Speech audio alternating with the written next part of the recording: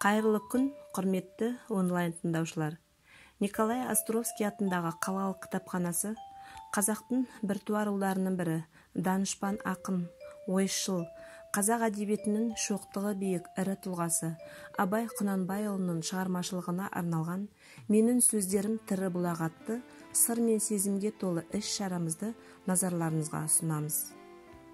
Абай кунанбаев служит источником вдохновения для людей всего мира. Скульпторы создают памятники, художники рисуют картины, поэты слагают удивительные стихи. Одним из таких поэтов стал Мыржакып Дулатов. Что это? Абая ли это портрет? Могущество слава и песни рассвет, умом и отвагою равно велик. Какой же с Абаем сравнится поэт – Величие Акына он гордо вознес, грядущего славным примером возрос. Аргын и Найман удивились ему, словам, уподобленным яркости звезд. Ұлы ақын, философ, ағартушы, композитор, аудармашы, қоғам қайраткері Абай Құнанбайұлы 10 тамызда 1845 жылы қазіргі Шығыс Қазақстан облысы Абай ауданы Қасқабұлақ жайлауында дүниеге келген. Больше всего на свете абай кунанбаев любил свой народ. Все думы и помыслы великого мудреца были посвящены будущему казахского народа. Абай оставил своим потомкам слова напутствия которые составили целую книгу караса стер слова назидания слова назидания абая фундаментальное произведение которое состоит из 45 кратких притч и философских трактатов.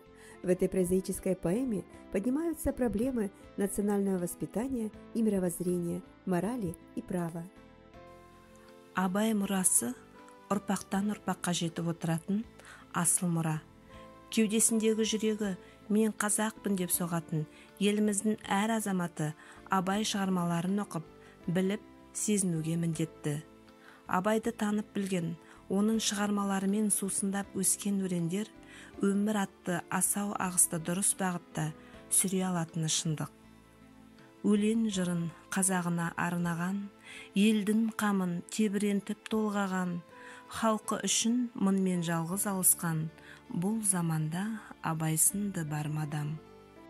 Абай видел красоту человека не столько в его внешних данных сколько в качествах характера высоко оценивая ум, спокойный нрав, человечность, отзывчивость, трудолюбие, честность, умение дружить.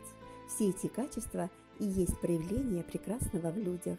Молодость, по мнению Абая, лучшая пора в жизни человека, когда у него формируются наиболее ценные качества личности. Абай верил в молодежь и пламя своих строк адресовал именно им. Не пленяйся доверчиво льстивой молвой, не гордись незаслуженно похвалой, сбитый с толку, уже ли обманутый рад? Если это не явь, мираж пред тобой. Если горе придет, то спины не сгибай. Если явится радость, достойно встречай.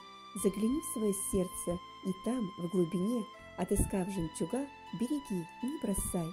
абай құнанбайұлының өмірі мен шығармашылығынан сыр шертер поэзия әлемінің жарық жұлдызы атаулы кітап көрмесі кітапханамыздың қорынан жинақталған әдебиеттермен жасақталып кітапхананың оқу залында жыл бойына ұйымдастырылып оқырмандар назарына ұсынылып отыр. Құрметті кітапсүйер қауым ұлы ақынның шығармашылығын таныту мақсатында сіздердің назарларыңызға 2014 жылы астана интерактив қазақстан баспасынан жарыққа шыққан белгілі абайтанушы мекемтас мырзахметұлының абайтану деп аталатын оқулықты ұсынамыз.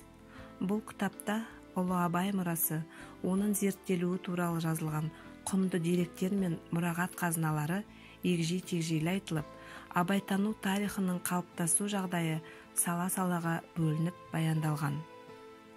Назарларыңызға ұсынылып отырған келесі шығарма 2008 жылы алматы раритет баспасынан жарыққа шыққан өкінішті көп өмір кеткен өтіп атты оқулығы бұл жинаққа ұлы абайдың сыршыл лирикасымен бірге қара сөздері берілген. Абай поэзиясы өмір сүрген тұтас бір тарихи дәуірді ғана емес сонымен қатар осы жинақтан кейінгі дәуірлерді де оның ішінде бүгінгі замандағы өмір шындығын да танып білуге үлкен септігін тигізеді. Создер. Слова назидания Абая. Самое известное прозаическое произведение Абая Кунанбаева. Книжное издание вышло в 2020 году в Алматы. Несмотря на то, что данное произведение написано более ста лет назад, оно до сих пор вызывает интерес у современного читателя, так как содержит мудрые мысли и наставления, не потерявшие актуальности и в настоящее время. көп адам дүниеге бой алдырған бой алдырып аяғын көп шалдырған. Өлді деуге бола ма ойландаршы өлмей тұғын артына сөз қалдырған деп. Төрелігін өзі шешкен абай бүгін жарқын бейнесімен де жалынды жырымен де бізбен бірге 175 жыл бойы өмір сүріп келеді және мәңгі өмір сүре бермек